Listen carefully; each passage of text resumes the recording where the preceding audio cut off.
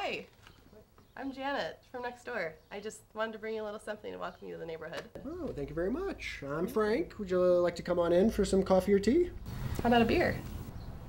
Okay.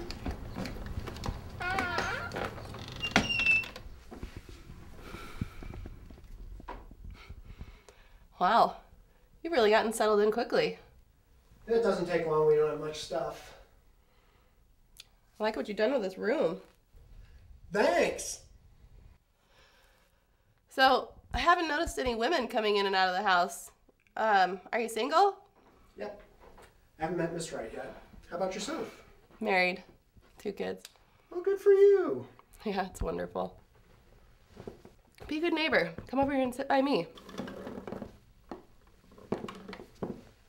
So, is there anything in particular I should know about the neighborhood? Like what? Yeah, you know, uh, maybe a neighbor who blares his music all the time, or someone who leaves their dog out and it barks all night, you know, stuff like that. Do you work out? Not really. I mean, I do some push ups when I get up in the morning, but other than that, I don't do much. You know, I saw you moving your boxes and your furniture in last week, Frank, and I reached two conclusions. One, you are very sexy. And two, I want you to do me right now. What would Jesus do? What would Jesus do? Love thy neighbor, Frank. Love thy neighbor.